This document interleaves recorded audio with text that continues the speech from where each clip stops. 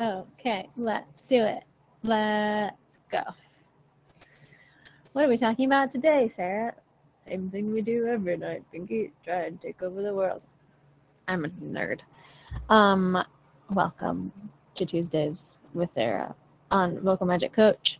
Um, we are talking today about the natural voice because uh, it's been a theme this week. I posted a, a post about it the other day uh, so many of my new students are wanting to know that. Like, how do I stop copying people? And how do I find what feels true to me in my voice? And how do I, uh, how do I do what I want to do instead of just do something else? But the problem with that whole conversation is we are a mosaic of everything we've ever heard. Like you can't not be that if you're a human, right? You didn't just pop up out of nowhere as a completely unique being. You were raised by people. You listened to music growing up. You saw art. You are influenced every moment of every day by everything you've ever experienced uh, to get really deep. but like that's the truth. And so this idea of having this totally unique sound all the time is almost impossible, right? It's that we have this false idea that so many of these pop stars out there have this magical thing that we don't have that makes them so recognizable. And yes, they do. They have, oh dear, poor connection. I don't know what's happening. Um, they do you know, are, like when Ariana comes on the radio, you can tell it's Ariana. When Adele comes on, you can tell it's her. When Chris Stapleton comes on, you can tell it's him for sure. But that is, I think, only a consequence of them just being okay with whatever they have coming out of them at all times, right? And that is such a different vibe than what we do all the time as amateurs and that is worry that you're sounding too much like somebody else. like to them, sure they have influences and everything, but instead of worrying that they're sounding too much like Ariana, Ariana is worrying that she's used to worry that she sounded too much like Kristin Chenoweth or that she used to sound too much like another one of her idols. Um, but guess what? When you let go of all that, you stop trying so hard. And when you stop trying so hard, the things that come out of you may sound like the people who are influencing you, but they also are coming out of a different instrument, right? So they're automatically more unique because they are coming out of your snowflake of a voice. You don't have to do anything to make that happen. You just have and were born with this magnificent machine that has its own vocal fingerprint magically, right? So even if you are imitating Adele and you're trying to sing an Adele song, it doesn't mean that you are not singing in your natural voice. You know, I don't know what's happening with my connection. I'm sorry. Um, so there's a whole lot of reframing that we need to do in this place of trying to become your own singer. And the fear comes in real strong as we know, right? The fear that somebody's going to be like, "Oh, you just are trying to sound like Adele. Who are you?" Right? You're you're just a copycat. And nobody wants that, of course. But also the person that's going to say that to you, do you really want to believe what they think anyway? you know? Like unless that person is uh, the person that is gonna uh, make you the biggest star on the whole planet, which honestly, that is kind of overrated as well nowadays. Like, we don't have to always listen to the Simon Cowells of the world anymore. We can do things on our own without the gatekeepers of the record industry. Um, and most of us are not even close to that level anyway. So we're doing the gatekeeping ahead of the time so that they don't do it for us, right? We are shutting ourselves down from trying anything because we're worried that the gatekeepers are going to say you're just trying to be a copycat, you know? So this idea of worrying that you're just imitating other people and that you're not singing with your own voice is not true. It's just not true. You are you have your own mechanism. You're not singing with somebody else's mechanism.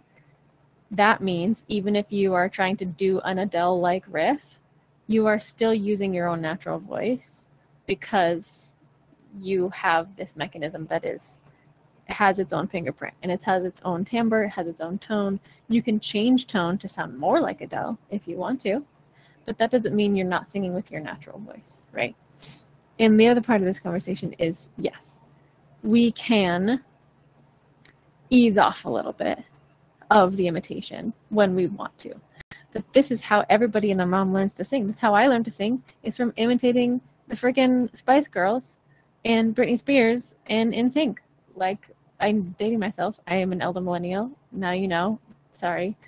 Um, but that's how we all learn to sing is we listen to our favorite singers and we try and singing try singing what they're singing and we learn a whole lot hopefully about tone and pitch and rhythm and all the things that we need to put together to be a singer but that doesn't come from just nowhere it's not just a random just download from the universe it comes from imitation just like how you learn to speak you learn to speak from whoever taught you, your parents or your guardians or whoever was around speaking around you when you were a kid, you just imitated them.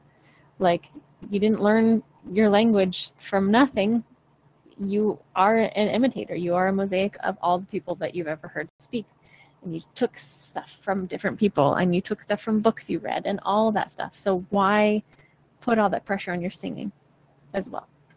So the moral of the story is yes, we can play with tone so that you feel like you are a little more on the spectrum of uh, not trying to imitate somebody as much. And usually that comes from going back into your speaking life. Now, if you're an opera singer, this is different advice, right? This is this is a different direction. But because you're almost never speaking with your same speaking voice or singing with your same speaking voice when you're when you're singing opera or legit classical stuff.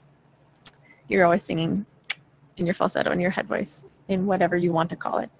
Um, but the majority of us ah, sorry about sorry about my connection. I don't know what is happening. I may have to stop and come back on. Um, i the majority of us are doing musical theater we're doing pop we're doing rock we're doing folk all that stuff that is so much more closely related to our, speaking our speaking voice than any of you think right like if i'm singing a big belty note all I'm doing is just trying to talk to my friend across the playground. That's the same skill, right? I'm not doing anything other than what my body already knows how to do, and that is project sound over a long distance. You've been doing it your whole life, I'm guessing. And if you can get back to that and bring that skill back into your singing, you are going to be golden. That's really all your natural voice is is you not trying to put yourself into a box that you do not belong in. And we do that when we're speaking all the time, right? Like when you're speaking, you most likely feel like you're talking in your own natural voice, right? You don't feel like you're imitating anybody unless you are a voice actor or doing something on purpose um, to talk like somebody else. Um, but most of us, when we talk, at least, you know, when we're in situations that we feel the most comfortable, when you're talking to your loved ones, you feel like you're talking in your own real voice. So we're going to bring as much of that feeling that ease, that trust in your voice as possible into our singing. And that relates to sometimes maybe feeling like you might be yelling. And that's okay because guess what? It's the same voice, it's the same mechanism. The only difference is sometimes when we yell, sing, we put too much pressure in here. And when we try to get a sound across a distance when we're speaking, we do it from underneath here. So, really, the most important thing I can tell you physically to bring yourself back to your natural voice is to feel into your abs, get your foundation really strong, take your belly breaths so you're in, uh, not uh, over engaging your abs too early on. Um, and by that, I mean when you're taking your inhale, release your lower abs and your side abs, your obliques so that when you do go to sing, they have their full uh, range of motion to help you with that foundation of your sound. It's coming up from underneath here instead of not having any engagement to go. And so then that pressure comes into here. And so you feel like you're overdoing it in here. So the physical thing I can tell you to find your natural voice is to take your belly breaths. Sing from the gut, sing from your abs, engage lower, send that connection down into the ground. So you're connecting your top and your bottom halves of your of your vocal mechanism. And then bring the ease of speaking that you have into your singing. So for example, if I'm singing Twinkle Twinkle Little Star, like there's many different ways I can do it one may be more imitating than another, right? So if you're trying to get to this place of not imitating and you learned how to sing Twinkle Twinkle Little Star from Adele, your first go at it is probably going to sound like a little more like Adele, right? Twinkle, twinkle, little star, right? That nice dark back tone that she has. But that's not how I would speak it, right? Twinkle, twinkle, little star. I normally talk much more bright and much more forward. So if I want to sound like more myself, I am going to bring it closer to where I would speak it. And honestly, the way to do that is just speak it in slow motion. It's my favorite thing to do with people. Like, twinkle, twinkle, because then you hold out your sounds more and then they become notes. It's magic. Speaking is slow motion singing. So try this with me if you want to. Just speak it how you would normally speak it. Twinkle, twinkle, little star. But maybe add a little bit of melody to it, right? Twinkle, twinkle, little star, how I wonder what you are, and I am right here, how I would normally speak. I'm not trying to be Adele. I'm not trying to pull it back and be a more, more full-bodied singer. I'm just going right, right here. And sometimes I don't like that I'm so bright, but that's okay. That's not what we're doing right now luckily we can change it at any moment, right? And it's all you. I'm going to keep saying that. It's all your natural voice. But if we're trying to bring speaky feel into singing, we can just lengthen and slow mo, right? So let's try it. Twinkle, twinkle. Twinkle, twinkle,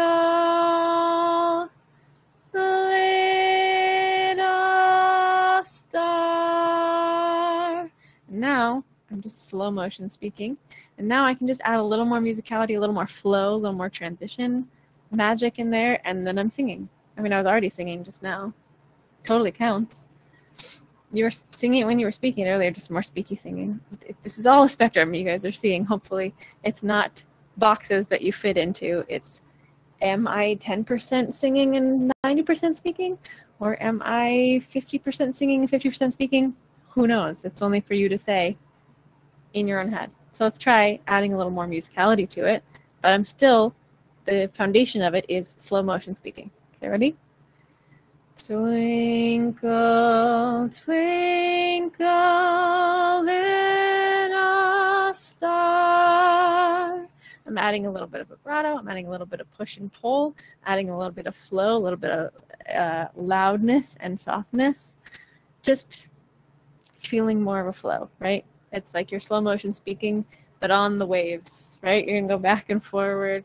You're gonna find some looseness to it, and that's it, you guys. That's that's how to find your natural voice, if that even exists, right? Because you already have your natural voice, and whoever you're imitating, it's not gonna sound exactly like them because it's a whole different, beautiful mechanism that you were born with. So don't worry so much about if you are singing in your own natural voice because you automatically are. But see if you can play with that spectrum of, okay, am I trying to 100% imitate this person? Or how would I say it if I were just speaking it, right? How would I pull back a little bit from that and make up something on my own, right? And this is where playing around comes in. I talk about the, the sandbox a lot it really matters if you give yourself sandbox time because then you start to come up with new things, new runs, new phrases. How would you phrase it as opposed to this other person? Oh, I'm so grateful for that. Thank you for saying that. that makes that means so much to me. Um, uh, it really, yeah, it, it it makes a difference if you start to see your own voice differently. You know, that's why I do this because it took a long time for me to see my own voice differently and to stop putting so much dang pressure on it to be perfect and to be my own thing and to be blah blah blah blah because all these things these boxes that we've been told to put ourselves in the genres that we have to stay in they're all bullshit. It's all bullshit you guys. It's all a spectrum and you get to choose where you fit on that in any given moment. That's the beauty of the human voice you know? This is why voice actors have a job because they can choose how much they are speaking in their own voice and on this spectrum getting closer to the character right? If you ever watch live videos of voice actors in the studio watch them. It's freaking fascinating. They can turn it off in any at any second and so can you if you practice right? Like if i'm trying to be spongebob i am gonna not go back here where my voice is. I'm gonna go even more bright and even more forward and i'm gonna slowly and surely get more bright and forward and high up, and my larynx is gonna come up, and I'm gonna be SpongeBob. Ah, right? I'm terrible at imitating. Uh, but we all can do it to a certain extent, you know. So play more is what I'm saying.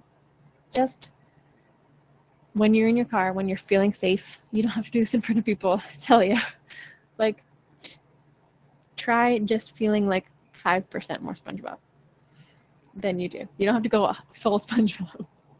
Just 5% more SpongeBob, right? Just a little teeny little bit at a time. And then maybe the next time you go 10% SpongeBob, right? Or whoever, whatever character you're trying to, to play around with.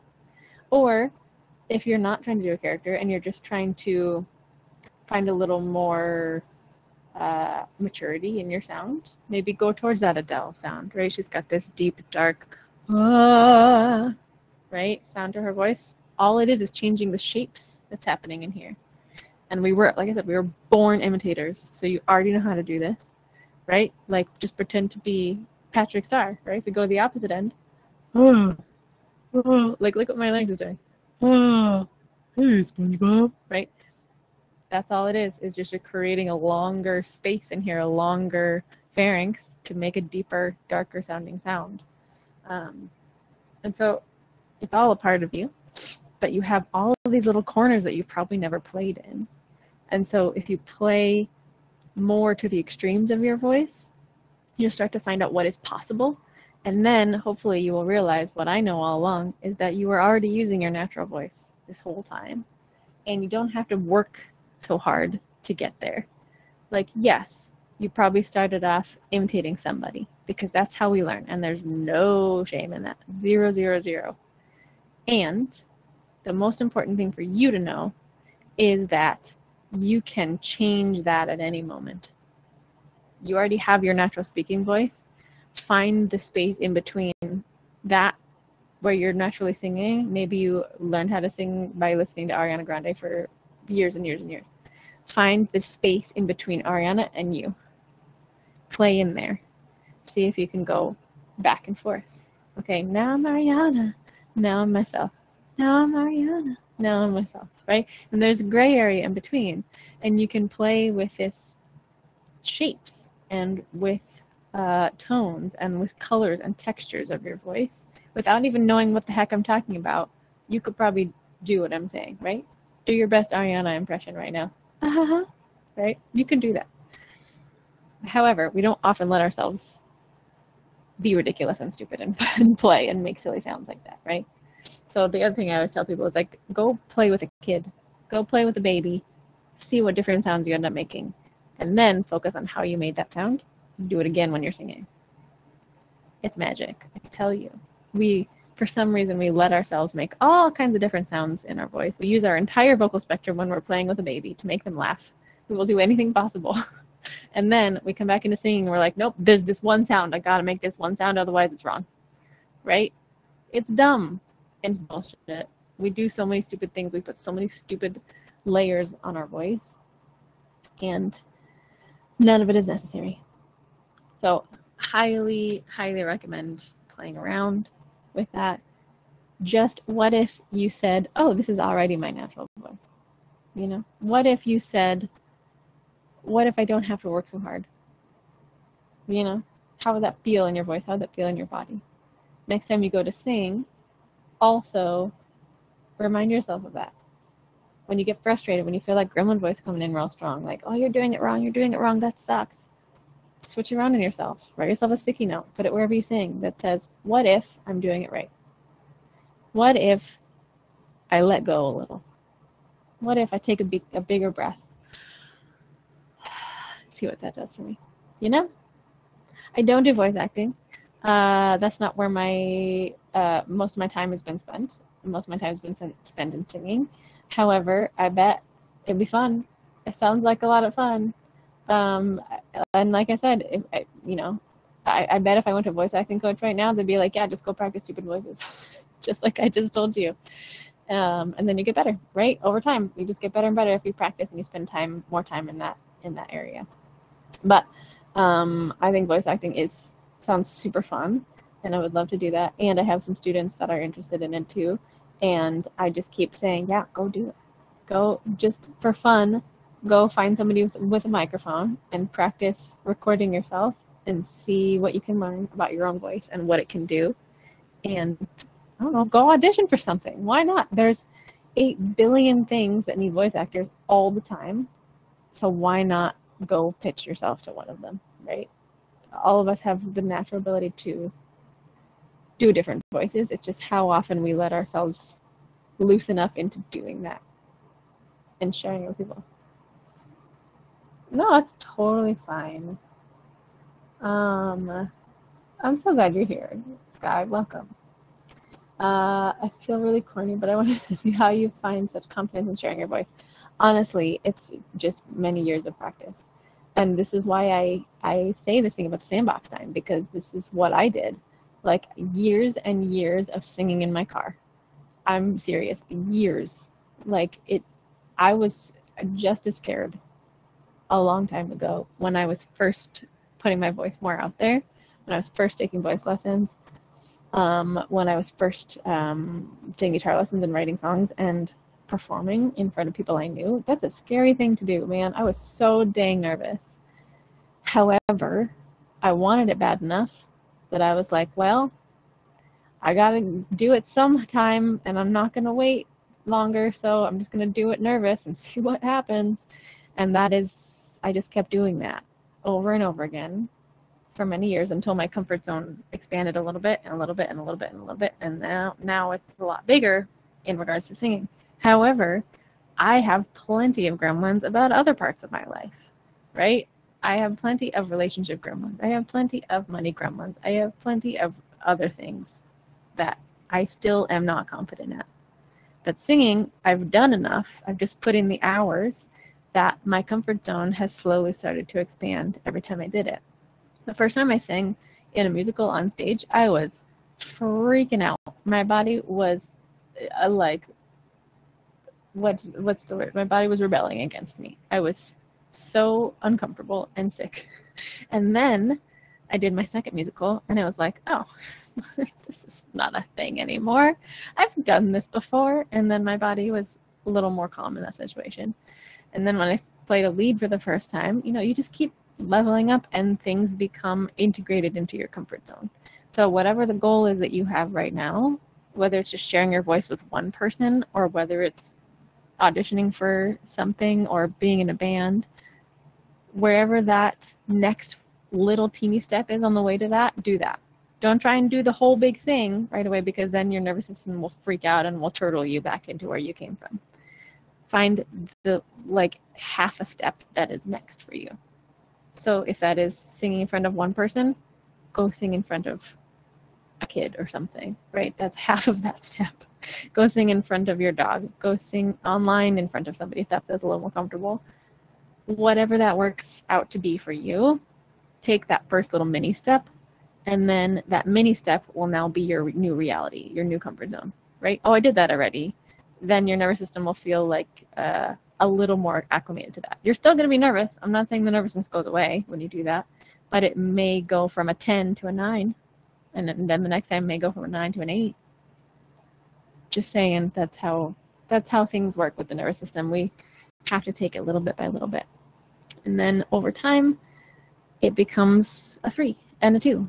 I've had somebody in Vocal Magic who was so nervous the first time he sang for me for like the first six months in private sessions he would like freak out and be so nervous he would he had like a name for it he'd call it the jellies because he got so nervous when he was singing in front of me. At the end of Vocal Magic, which is like eight to nine months later at that point, he busked at a coffee shop. No fear. Just, I mean, there was nervousness still for sure, but he did it. No problem. Can you imagine? I had somebody else who was in Vocal Magic. She started and she would get so nervous. She like barely could talk, had such you know your body has had all these reactions you know like you get so sweaty you get so shaky you can barely get through it but you want it enough that you do it and then by the end of that six months she was like oh my nervousness is like a two or three now i was like what how is this a thing? It's amazing. Incredible. Do you help with finding your speaking voice? Um yeah i mean it's all the same thing. Um, I primarily work with singers, but I also uh, have worked with public speakers in the past. It's just where my most of my expertise is at is with singing, so it's mostly where I put my time, um, and that's what my my program is about is for singers for vocal magic. So, um, yeah, let me know what else I can do for you. But I gotta go. Uh, I have some sessions to do. But thank you all for being here. I really appreciate you. Um, it really makes a huge difference when you are here and asking questions, and I thank you very much. Um, yes. Oh, yes, yes, yes. Uh, yeah.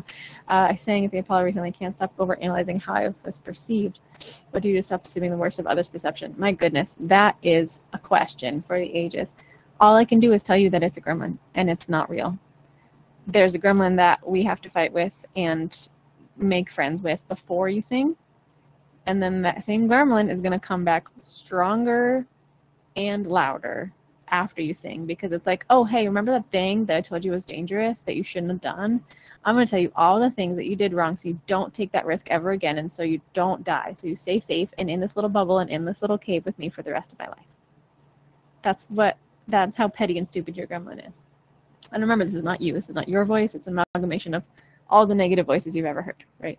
So keep in mind, if you can, when you hear those negative voices come in after a performance, say your gremlin's name out loud. So mine is George. And he says, You're wrong. You did it wrong. You suck. You didn't do enough. You need to do more, blah, blah, blah. And I, when I hear that voice, especially after performance, my goodness, it's so loud. I'm like, George, thank you for your help. I don't need to listen to you. I don't listen to bullies. Go away. You don't have to say anything else. Just F off right? Literally imagine shoving him outside of the door and slamming the door. Go hang out in the car. I'll see you later. He's always going to come back. That's what he does. He's very good at his job. However, when you put yourself out of your comfort zone, your nervous system is going to do everything in its power to red alert you into not taking a risk ever because that is what it understands as what is safe because it does not know what is outside of its own experience. So it doesn't have experience with it. If you do something new and big and exciting, it's going to freak out, right? So keep that in mind.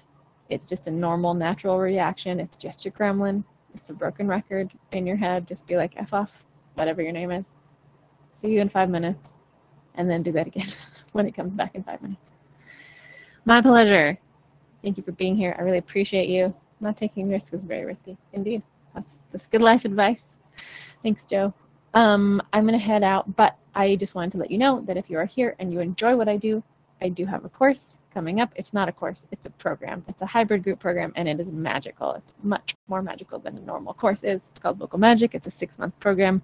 We do live group sessions, we do private sessions, we do video lessons, we do performances, we do uh, all the things.